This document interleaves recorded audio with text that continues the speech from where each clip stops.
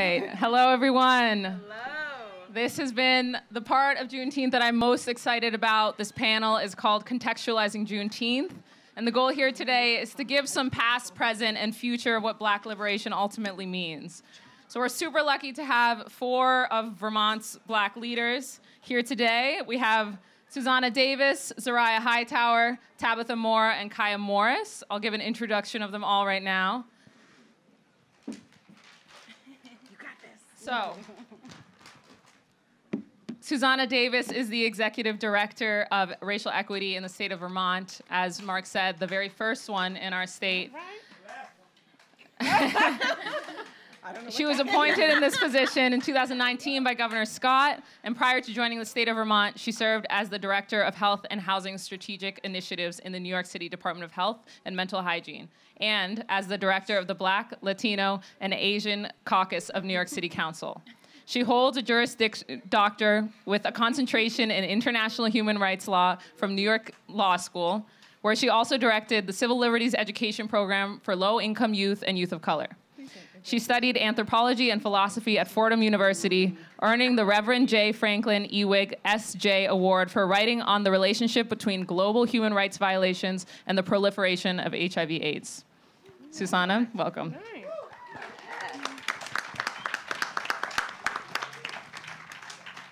Zoraya Hightower, the executive director of the Peace and Justice Center and a Burlington City Councilor. My earring just. Zoraya moved to Vermont in 2016 after completing a master's degree in environmental management from Yale University. Educated in the environmental field with over six years of experience in international development, she has recently become increasingly active in local social justice, an understatement. Zoraya says she came to Vermont for work, but stayed for the outdoor enthusiasm, and is an avid biker, hiker, and skier, including a planned 200 mile bike ride from the northern to the southern part of Vermont on Monday. That's what you do. Good luck. Give it up. Motor skills and hand-eye coordination. Tabitha Moore is the founding president of the Rutland area branch of the NAACP, a mother and a Jedi consultant. Mm. Tabitha is a sixth generation Vermonter, mother of three, activist, and PhD candidate in the field of transformative social change. She is a member of the Horizons Project Brain Trust, which is a national effort to bridge the relationship between peace building and social justice movements.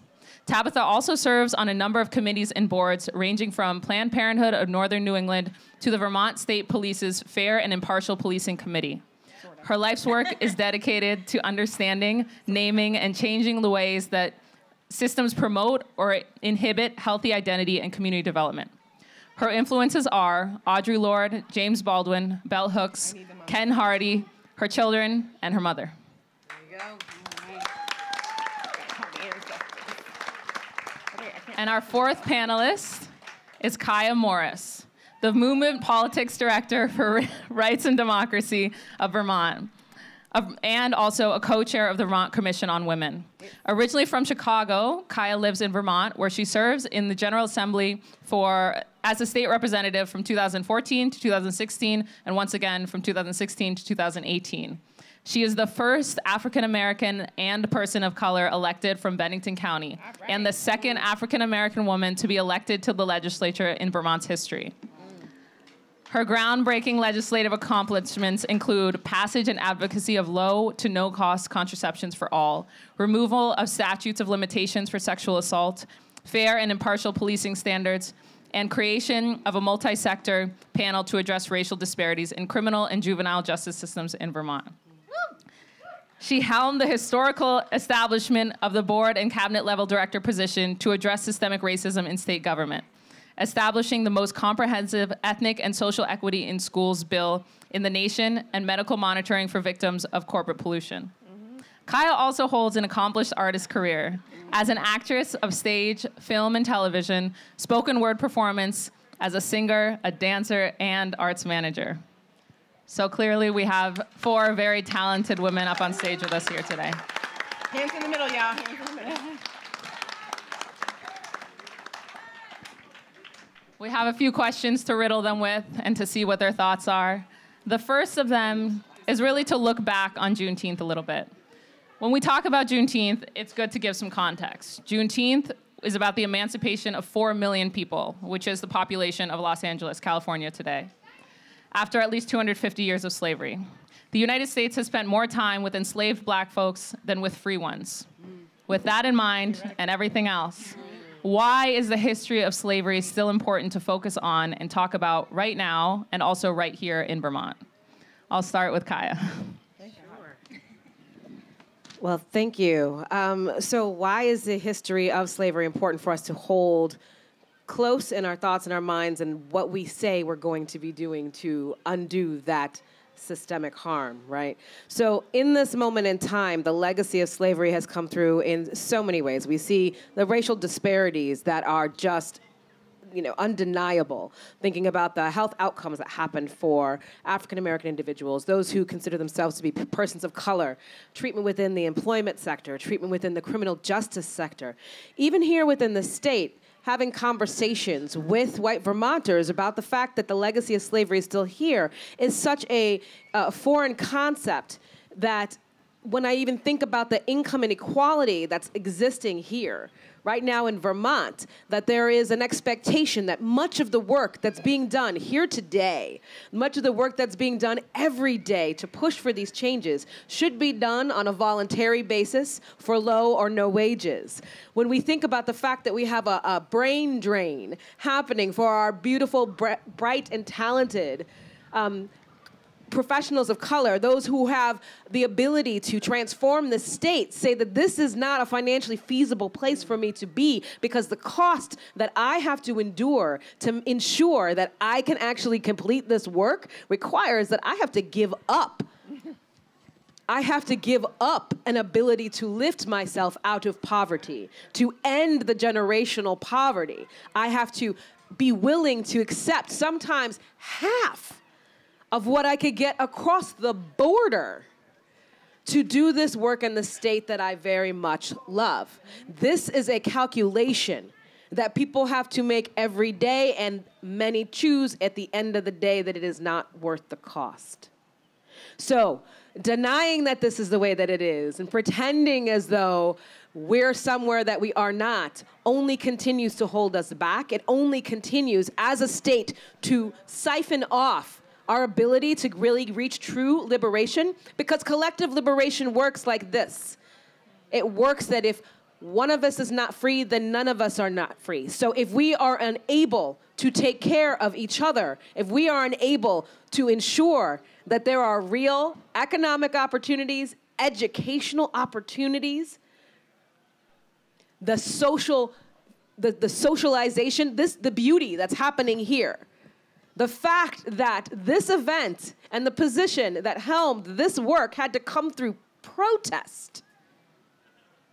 Through protest, not by willingness, not by a readiness for change, but through the force of the people, is proof that as a state, we have not yet reconciled with the depth of harm of what happens when you deem people to be inhuman and unworthy of the dignity they des- that they deserve.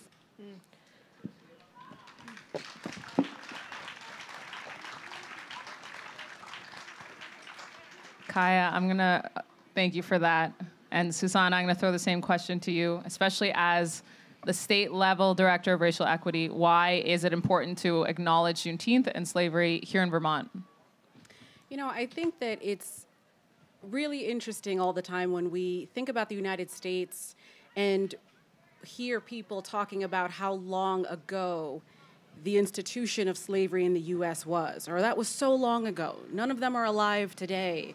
Why should this matter today? The United States is a relatively young country. This isn't as long ago as you think.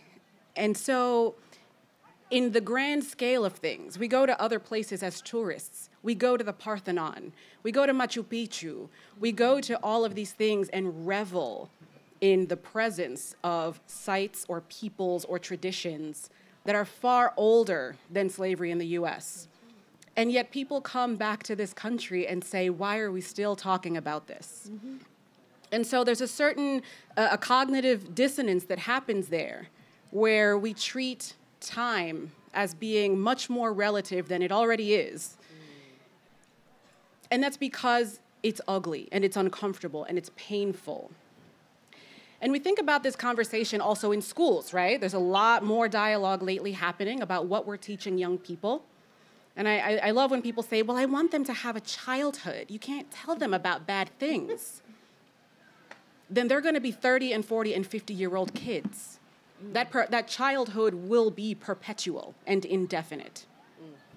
So, why should it be a consideration in Vermont? Vermont is a wonderful and beautiful and charming and unique place, but it's not so unique that we are exempt from the impact and the legacy of what amounts to human trafficking. Mm-hmm.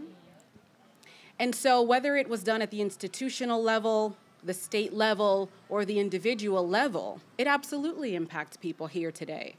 And shielding ourselves, and especially our young people, from that truth, we're basically intentionally failing to equip them to navigate the complex world we live in today. If you care about your young people and you want to equip them to be their best selves and to navigate this world as, as well as possible, then arm them with as much knowledge as possible. And if we're afraid of truth and the history, then what does that say about our history? If I'm doing right and people talk about what I'm doing, I'm not worried about that because I know I'm doing right. But if you're upset that we're talking about a true thing that happened here, it's not the talking about it that you're upset about. It's that that thing is the truth to begin with. I know you wish it weren't true. We wish it weren't true. But it is. And shouting it down doesn't erase it, it just makes things messy. So, as a person who cringes at things not being symmetrical or organized or in their place. This is a personal campaign to reduce messiness by saying what it is. So, you know, again, I mean, Vermont is a unique place, but it's not so unique that it's not like the rest of rural white America. And rural white America has, has to grapple with and reckon with this. And the thing about Vermont that's great is that you have so many people willing to give of themselves to do this work for the state. Cherish that, take advantage of that. Yeah, I think that's I think that's all I got. Beautiful. I have Is that all, Xusana? So as I'm listening to Kiah and Xusana talk, I'm thinking about Kiah's use of the term denial, and I'm thinking about what you're talking about with education. And you mentioned the term uh, the institution of enslavement. And uh, you know, Juneteenth is kind of our celebration or commemoration of the ending of slavery. And I don't think we can celebrate this day without acknowledging that it was two years prior mm-hmm. that it actually ended. But white people were so good, so good at keeping up uh, appearances that they were able to get away with it for another two additional years. So I would like to kind of change that idea that the institution of slavery died and say that we need to think about things like mass incarceration. We need to think about things like healthcare disparities. We need to think about things like disparities in pay as a new form of enslavement. It has not ended. It just transformed. And it goes back to what Xusana is talking about with how we educate our children. And, and I don't know if folks are paying attention right now, but there's a whole lot of real angry, real scared, I don't know what's going on with them. But we got some white folks who are trying to fight the idea that we would even talk about racism, that we would even talk about slavery. That's how much a threat it is to them to think about what would happen if we were free.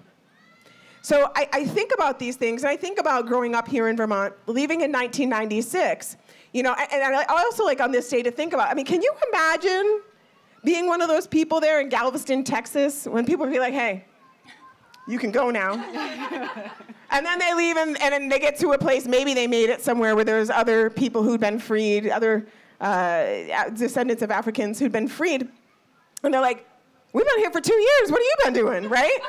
And they're like, "Wait." This could have been two years ago. That's how I felt when I left Vermont in 1996. Because when I left Vermont in 1996, I went to, to New York. I saw people who looked like me. I heard values that reflected my own. I saw, I learned a history that I was not allowed to learn here.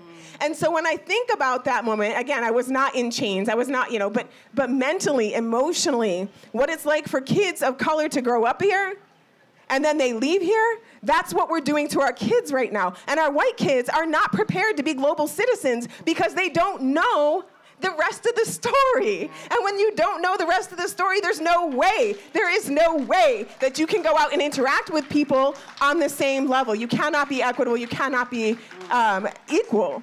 And so, you know, when I think about the institution of slavery, I think that it is still here. And so for me, Juneteenth is more about celebrating um, that moment of time where that, you know, we started to redevelop. um, and, and, again, we're still working. I think, you know, well, Mark's talked quite a bit about some of the legislative action pieces and um, our fight for um, changing uh, slavery in our Constitution. But I think so much about our kids today and what it means when they leave this state. And I think about that day in Galveston when those people were like, wait, we're what? And that's what Juneteenth is to me. Give it up for that answer. that makes sense. So much. What a hard what a hard act to follow. But along the lines of like that this is a thing that continues is I feel like to me the reason that we need to look back at what was is because the game hasn't changed. We use the same strategies, we use the same thinking, we use the same language to justify discrimination today that we used decades, centuries ago to justify slavery and to justify Jim Crow. And so I feel like my experience over the last few years has been everything from local white officials saying that they know better mm. what their black constituents need mm. than their black constituents mm-hmm. to justifying any amount of harm through through the words of economic necessity. And what is acceptable has changed but literally the words that we're using, the justifications for how we dehumanize people based on race has remained the same. And so you talked about, you know, 4 million people who were to gain freedom from this, and yet we still have more than half of that black people who are currently criminalized and part of the corrective the correction system. So more than half were still in are still not don't have freedom over their own bodies. And so and we justify all of that for public good. We justify all of that for the good of the black community. Again, the patronizing. Um, and the problem is that it's so entrenched in what we do and it's so big that polite society can go look at and say, oh, I can't fix this this is just the way that the world is, and there is nothing I can do about it. And it's devastating that the reason that we ended slavery, like, is because a white man's agenda worked. It's like, oh, this is my new war agenda is to free some people that I don't care about all that much, and that is what we needed to get even to where we are to end actual slavery and to end this thinking and to end the justifications and to end how we think about people who are a different color, that's not going to be done by one white man's war strategy. That's only going to be done when all of us collectively say, no, humanity and human rights are more important than the system that we have that would be inconvenient to not preserve. So I think that's why it's important to look at what we have. Kiah, go for it. No, I appreciate this. And what I wanted to just um, add to this that I feel is really important that each of you are speaking to. When we say why it's still historically important, is that we understand the legacy in our bones. And this isn't just some esoteric concept of like, well, it's a spiritual connectivity to our ancestors. No, understand that it's our great grandparents. For some of us, our grandparents who understood what that life of enslavement was like it is our grandparents sometimes, and sometimes our great grandparents within this generation who understood the violence that waited for them as, in, as freed individuals. That there were campaigns of terror to maintain social control mm-hmm. over human beings that still exist today. Every person at this table right now has received phone calls, emails, been pulled aside in conversation, had someone say, please reach out to this individual because there are still black and brown people being terrorized in this state and no one's doing anything about it. So, as these conversations are happening, right now, there are black and brown people who are being terrorized by weaponized racism, strategic racism, and a police state that is completely inept and often a culprit within continuing this violence. Understanding that police only came into being to control black and brown bodies. And that is still here today, whether it is a painful truth you want to hear or not.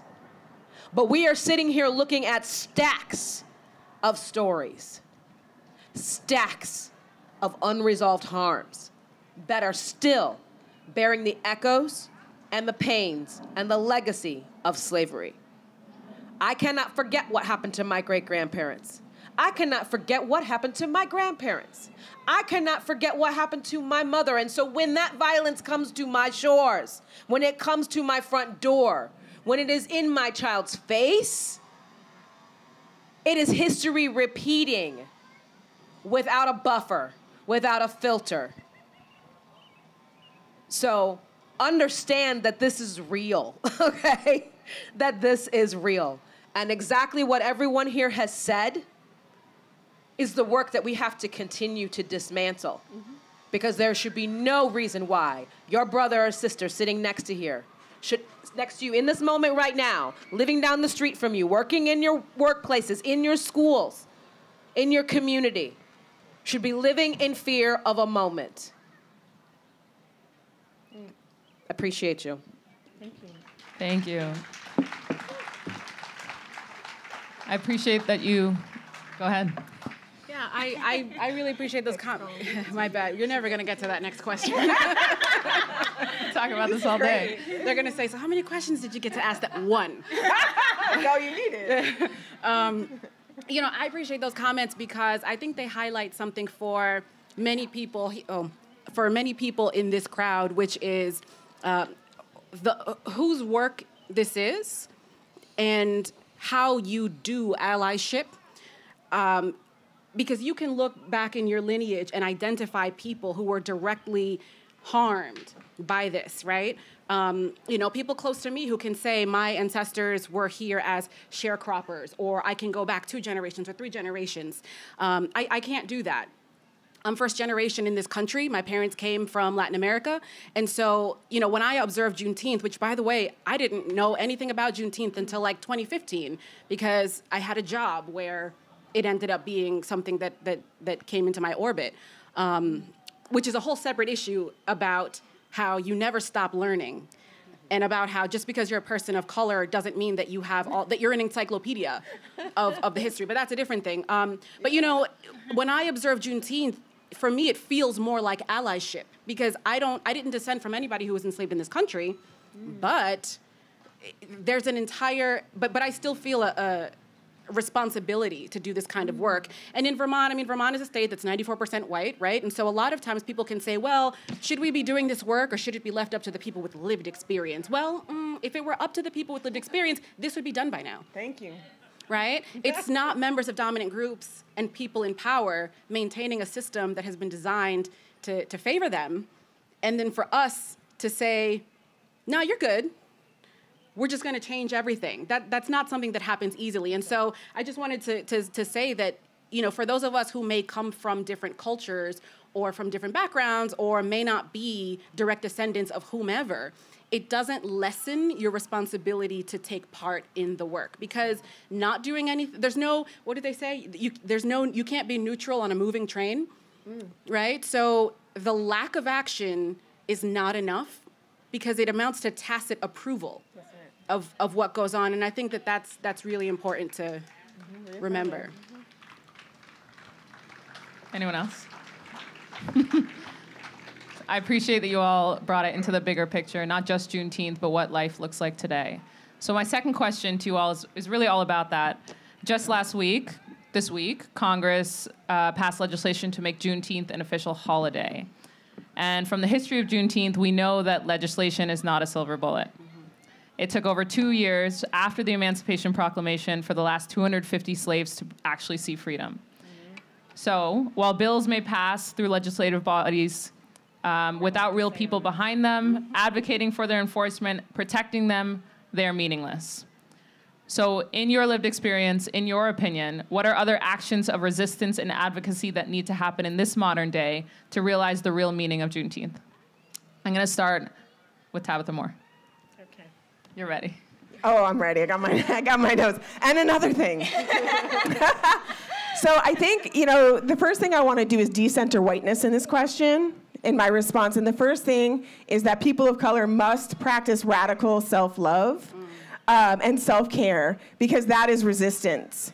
The minute we take the time to care for ourselves, yeah, I see the boat. I see the boat. I see our walking group over there. Yes, I think that's the first thing we can do is to love ourselves. I think about Katrina Battle and her work with uh, Black Lives Matter of Greater Burlington and everything she's done to turn it toward us and make sure that we are taken care of. I think about um, Susu Healing Collective and the work that they're doing, Black Perspective, Jess and Ashley Laporte, who are all over the state. I swear they must have some sorts of portals that transport them, but they are always caring for us, especially those of us who are on the front lines. So I think the first thing that we have to do is practice self care and self love as radical forms of resistance.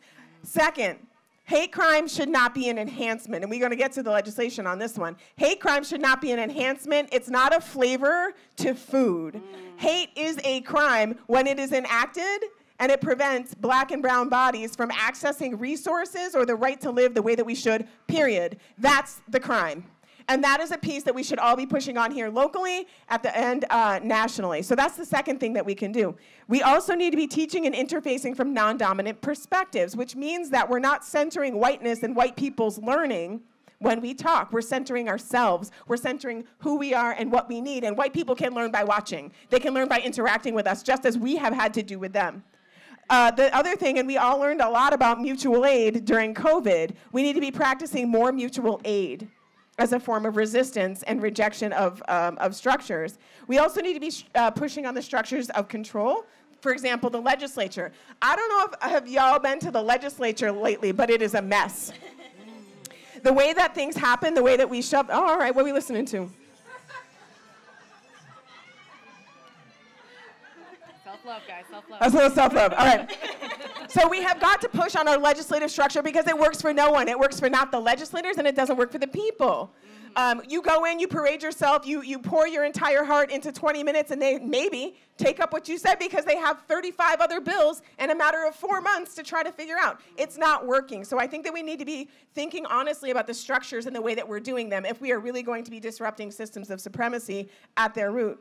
Um, I think uh, we need to stop looking at policy as directive only because we know we can all put pretty words on a piece of paper, but it's how we enact them that makes the difference. So I think that we need to stop looking at policy as telling people what should be happening only and start putting procedure in there as well so that it is both directive and procedural. Thank you. We need to reimagine public safety which a lot of people call defund, some people call abolish, whatever it is, public safety is more than police.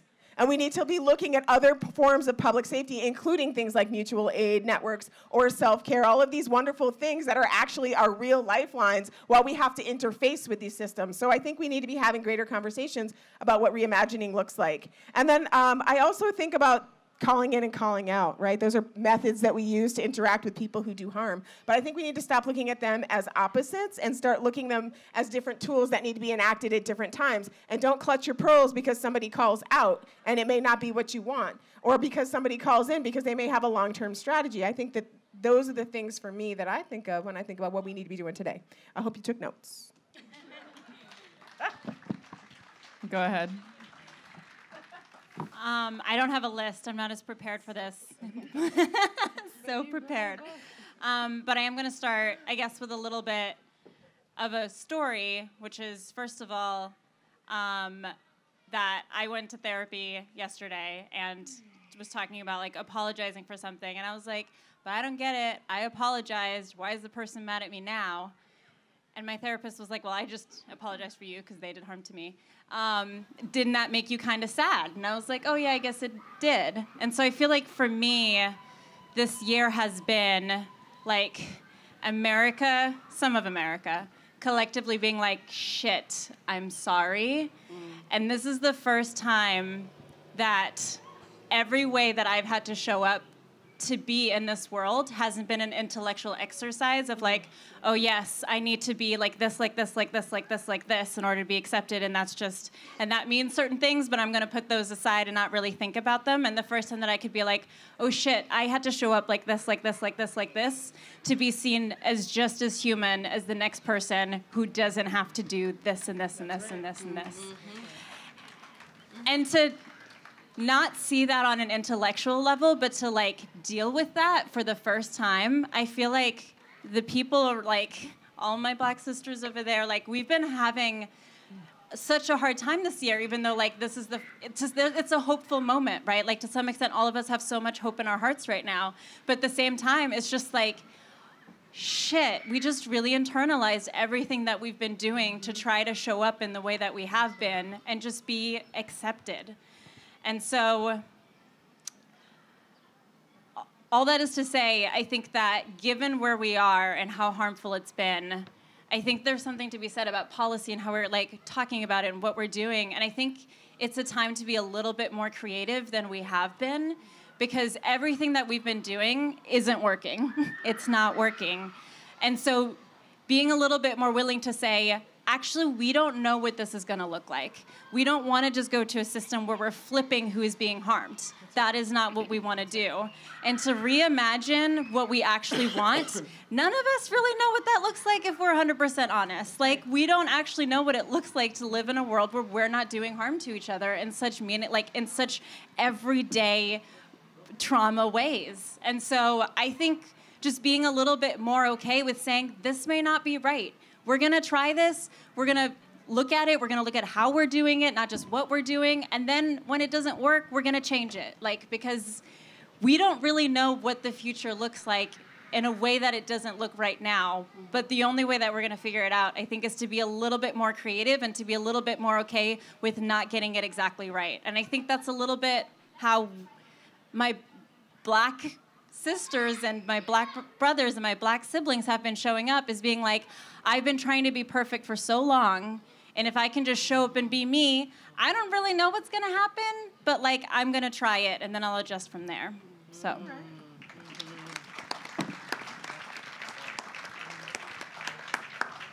Kiah, you wanna go next? Sure. sure, thanks. Um, so, other forms of resistance and other places that we need to be pushing back. Right now, my heart's breaking having been in the Northern Triangle and met with women that are trying to get across the border, families, children that are trying to escape unbelievable amounts of violence, incredible um, devastation and poverty. And as a country, we're saying you don't get to come here, and we're criminalizing them. This is the same. It's the same playbook.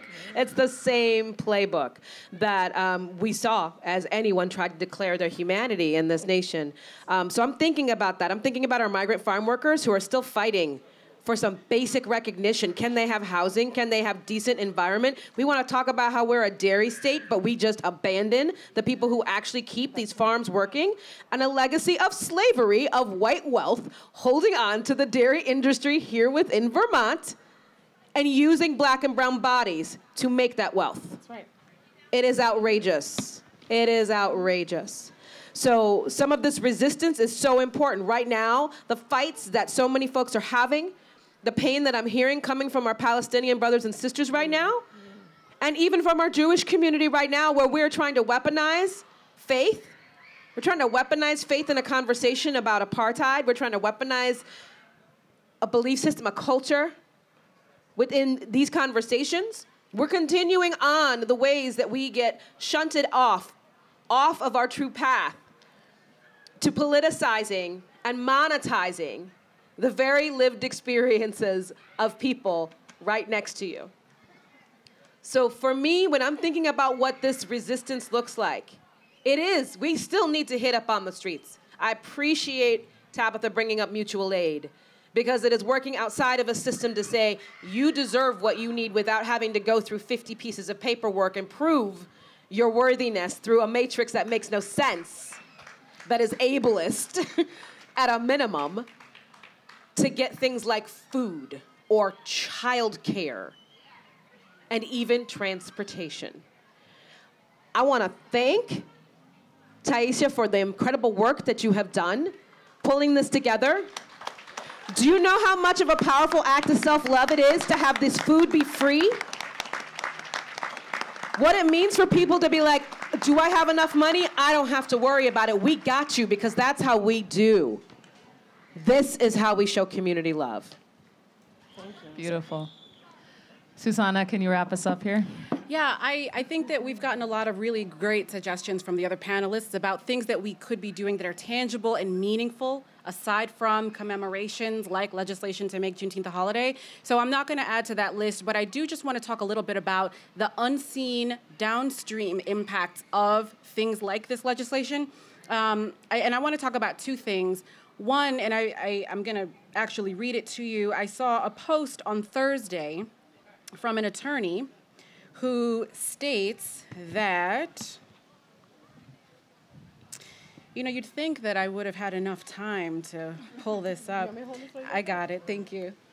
Um, this was an attorney, and it was it was posted on Thursday. And if any of you have ever been an intern like me, then you probably know the details of when we celebrate federal holidays, because you get the day off from work. Federal holiday falls on a Saturday. It's observed on the preceding Friday. So, on Thursday, this attorney writes, courts are closed tomorrow for Juneteenth. My incarcerated clients, all of whom are black men, will remain in jail to celebrate the emancipation of slaves. Mm. This is America. So the idea that we pass legislation to make something a holiday and that as a result it has additional consequences on the US legal system that ends up keeping people who may be temporarily being held awaiting hearings or trials. We're not thinking about that. We're thinking, am I going to get paid for not having to go to work that day? right? And so that's what I'm that's what I'm talking about when we think about passing legislation in DC. They said, "Okay, done and dusted. We did it. Let's head home for the long weekend."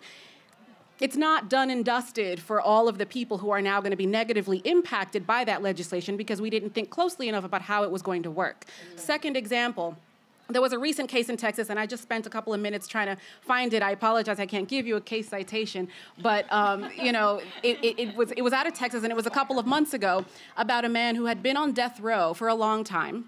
And I won't bore you with the details of the long appeals process, but basically, we got to the point where the court overturned. Uh, a lower court had, had affirmed that he should stay on death row and the, the state Supreme Court overturned that and said, mm, actually, there are serious questions about whether he received effective counsel and whether or not he should have been given a competency hearing because he also suffered from mental illness. So the court said it's not right to affirm that. We can't hold him. So we should, we should at least send it back down, right? A good thing. But the dissenting judge's opinion really stuck with me because what she said was, I feel for this person. Technically, yes, he should be freed because they violated court procedure. However, he's been on death row for so long that it would be in his best interest to keep him there. Because at this point, if he goes free and is out on the streets, he probably will be homeless, she says. He probably won't have access to the mental health services he needs. So it's better that he stay on death row because he'll have the health care and the psychiatric care and the shelter.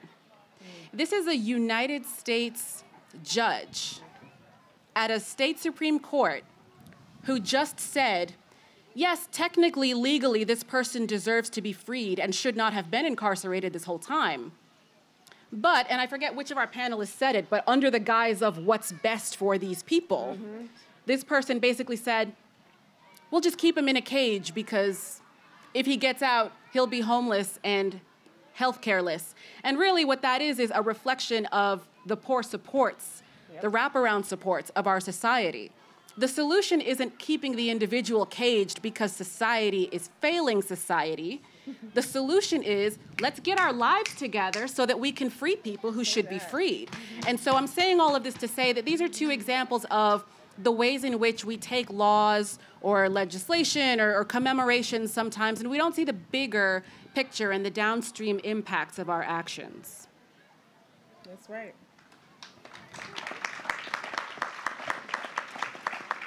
Xusana, that example leads us expertly into our next question, which talks about what liberation is.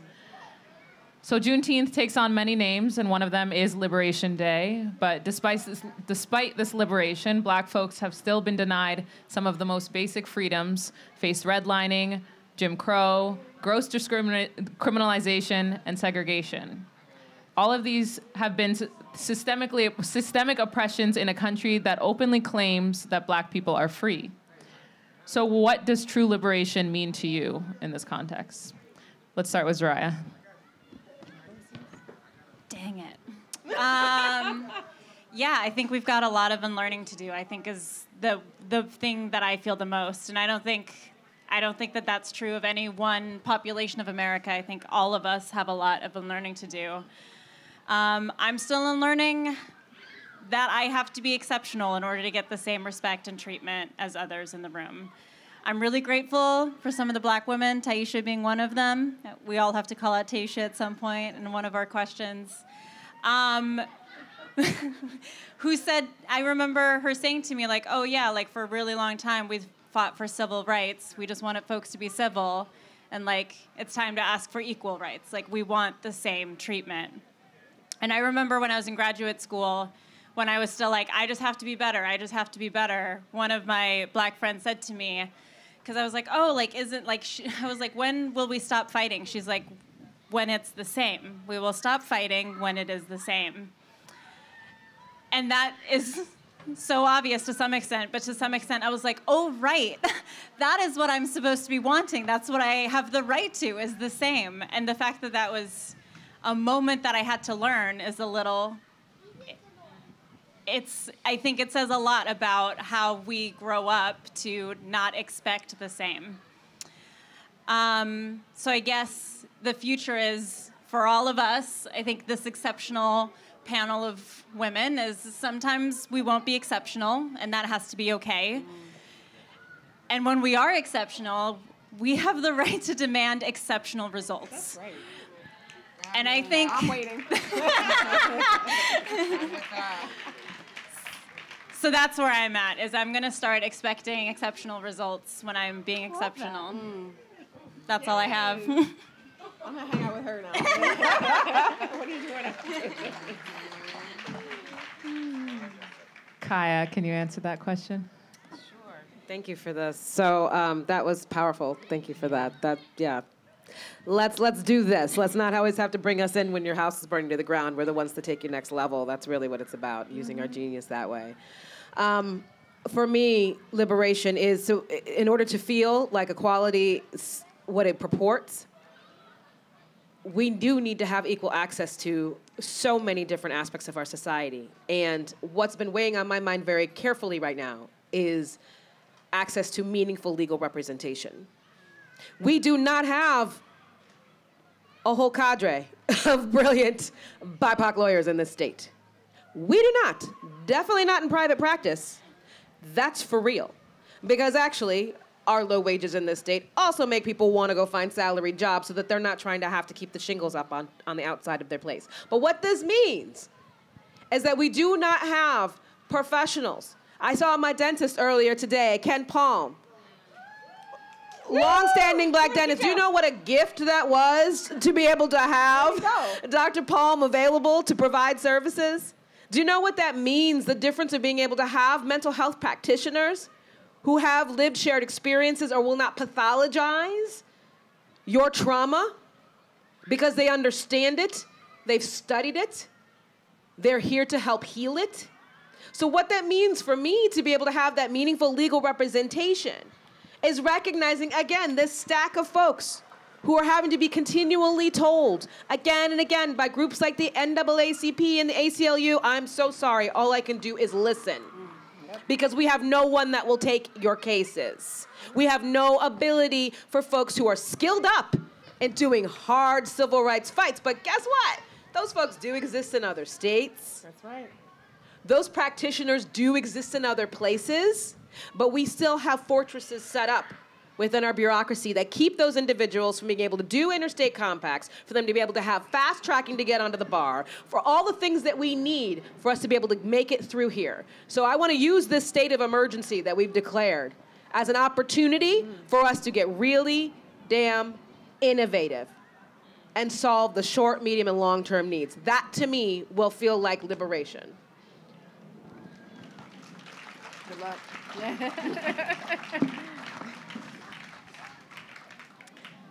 for for me, true liberation means loved ones of mine can visit me here in Vermont and not be in the world and not be out in public and somebody demands papers. Mm. For me, true liberation means that I don't have to feel survivor's guilt because people in my demographic group didn't fare as well as I did because I thrived in a system designed for me not to thrive.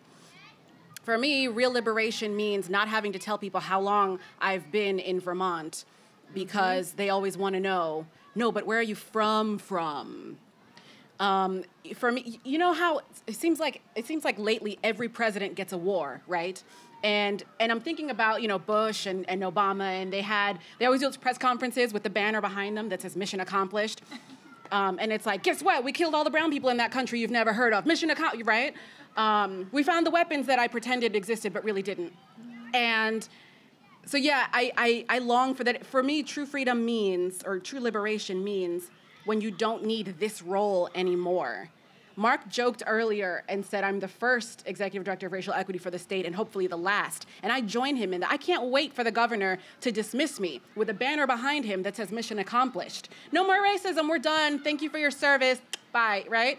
Because that that is genuine liberation when you don't need people mm-hmm. whose job it is and who make entire careers out of justifying their humanity to the people around them. Mm we all have other interests. We have other things we like, hobbies, right? I mean, and yet, and yet, so much of our existence is about ensuring our existence instead of living our existence, right?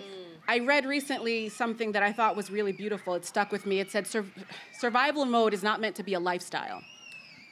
And and that's so real and i think even people who are not of color or people who are not from the lgbtqia plus population people who are not people living with disabilities or, or what have you a lot of people even members of dominant groups this last year year and a half have been in perpetual survival mode mm-hmm.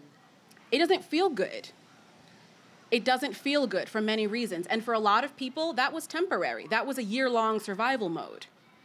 And i feel for them but until you're until you're afraid that your child may not make it back from a friend's house every day, I don't know that you really know what that survival mode means for people who are not yet liberated. So yeah, I think I think true liberation is going to be the day when they hold a panel like this and nobody comes. Because we're all because we're all healed and we're all doing other things toward a better future and and don't have to keep having these dialogues as rich and as enjoyable as they are. Tabitha can you close us out? I don't want to follow that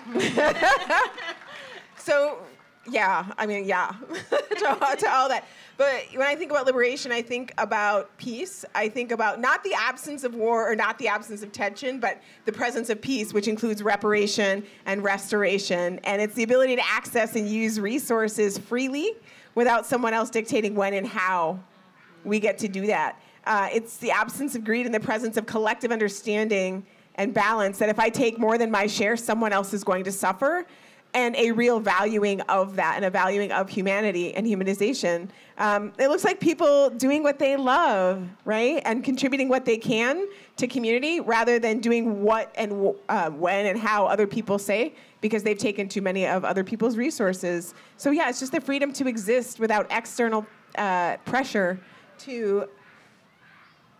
To be a certain way, to to achieve excellence or exceptionalism so that we can just be at the table and be able to make decisions with other people. It's the shared power that we all were born with that was taken from us. That's all. That's all. Oh, is that it? Can we just get that? So, in these final, you know, couple minutes, can you all take about 60 seconds, sorry, to close us out with final thoughts on any of the things that we spoke about? Final thoughts that you want to leave with the audience. Um, Kiah, can you go first? 60 seconds. Thank you. So, um, in my last 60 seconds, I'm going to make a strong push again. If we're going to reach collective liberation, we need to start with Abenaki sovereignty. Okay, so um, that's a pretty sad history we got here, and that history of eugenics that needs to go. So we're gonna stop erasing the people who live here. We're gonna stop chasing them out, and we're gonna have to work together and recognize that what harms me harms you.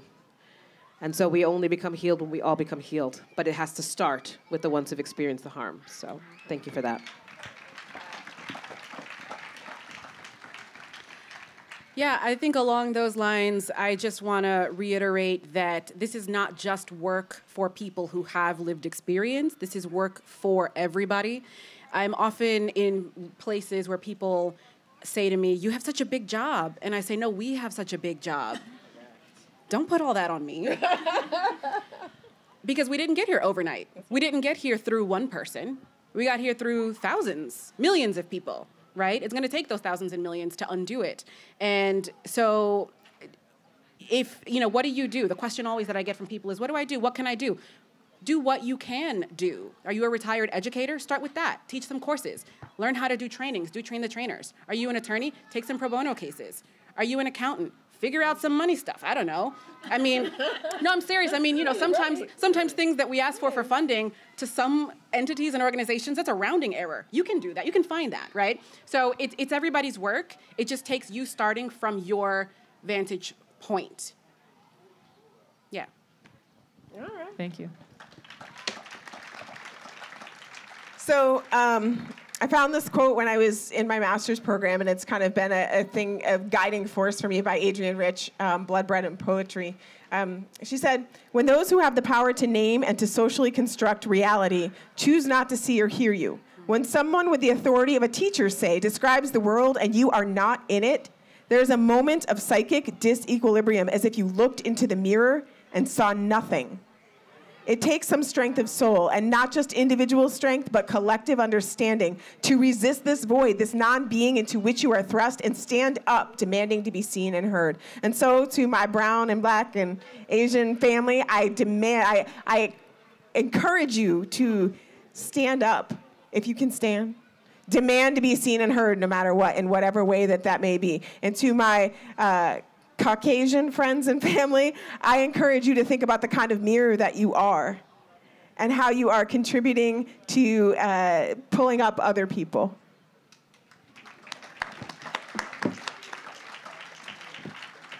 Look in the mirror and see. I'm also going to end on a quote, and I don't even remember who the quote is from. It's one of the members of the squad, but it's something along the lines of like, if they're going to see us as a them, we may as well start seeing us as an us, mm. something along those lines. And so I think that's, as someone who was not very political and now very much is, I think just sometimes I really just want us to be like, we're all in the same boat. we all want the same things. We all know that we're fighting for the same things. Let's act like an us mm. and fight for our collective liberation.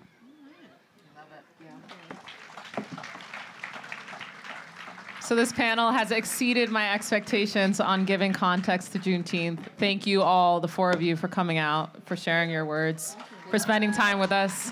Please give a round of applause to all four of our guests today.